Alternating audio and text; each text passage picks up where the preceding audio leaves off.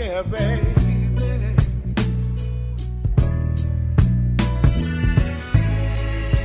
But I know that you know that I know that you think things ain't gonna get any better. But just remember. Hey, yo, turn me up in my headphones, man. I got a lot to say about this day. That's right.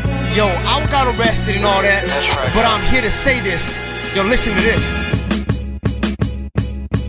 March 27th, that's the day that provided them. Yeah. It was Officer Junior Ryan, we were riding it. Up in my Range Rover, damn, I was like sliding it. Pop a little pill when you know you just gliding in. Made a little right, now I'm moving and I'm swerving in. Damn, I'm just sliding in, moving, less colliding in.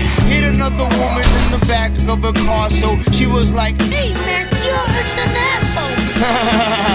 Started on a day when I was smoking that weed again. What was I doing? What the hell was I thinking? Yo, I was like moving on, stuck on some drugs though. I don't really know, I really felt like a dick though. When I got pulled over, they say you're drunk or sober. I said no, my son was born in October.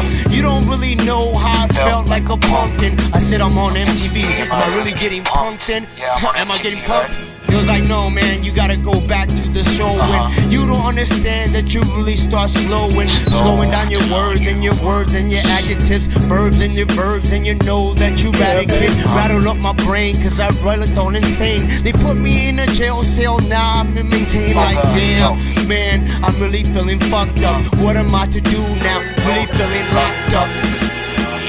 Yeah, check it So. I started saying, Yo, God, help me out now. If you're gonna let me live, yo, let me show you how. What happened on this fatal day when I was driving? Uh-huh. People said, Man, you was trying suicide. I was like, No, man, let me just live and let me just take care of my little kid. And yeah, good riddance.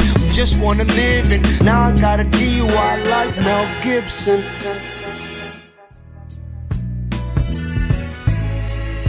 But I know that you know that I know that you think things ain't gonna get any better.